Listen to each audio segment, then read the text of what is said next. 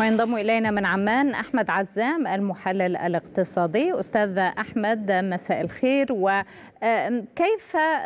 ترصد هذه الارتفاعات مؤخرا في أسعار الذهب؟ مساء الخير أستاذ دينا شكرا للاستضافة. نعم بكل تأكيد عندما ننظر إلى تحركات أسعار الذهب في الفترة الأخيرة أو من القاع الأخير المسجل عند مستويات ما يقارب ال 1800 دولار للاونصه ارتفاعات منذ نهاية عام 2023 جراء ارتفاع عدة التوترات الجيوسياسية. بكل تأكيد كانت التوترات الجيوسياسية دافع أساسي لتوجهات المستثمرين إلى الذهب كملاذ آمن. بكل تأكيد الذهب على رأس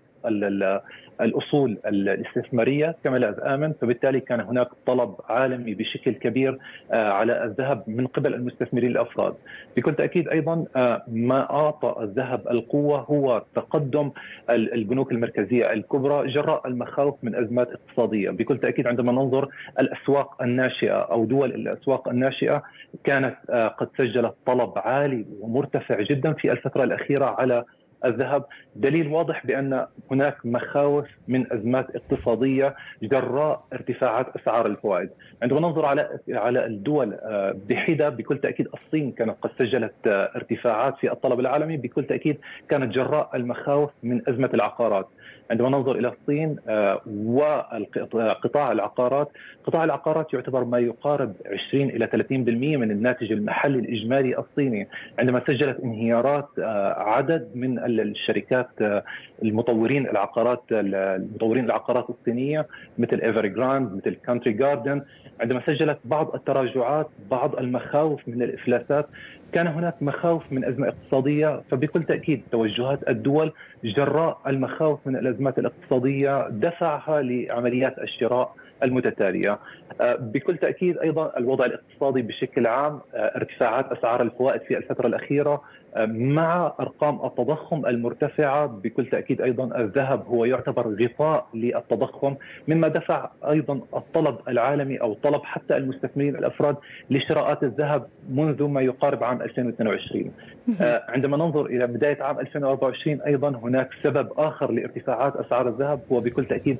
تقبل الأسواق توقعات الأسواق لإمكانية أن يكون عام 2024 بداية دورة تسهيلية للسياسة النقدية أي امكانيه تخفيض أسعار الفوائد مما بكل تأكيد دفع المستثمرين أيضا لامكانيه شراءات الذهب للتخارج من الأسواق النقدية إلى الذهب مما دفع جميع العوامل والمؤثرات أن يكون الذهب هو أحد الأصول الثابتة الأصول القوية التي سجلت ارتفاعات منذ عام أو نهاية عام 2023 منذ القاع 1800 دولار للأونصة وصولا أو تجاوزا حتى لمستويات ال 2400 كأعلى أسعار تاريخية بالنسبة للذهب. طيب أستاذ أحمد بالحديث عن الصين يعني اتجهت في الفترة الأخيرة ودول أخرى منها روسيا على زيادة الاحتياطي من المعدن الأصفر وهذا طبعا كوسيلة للتحوط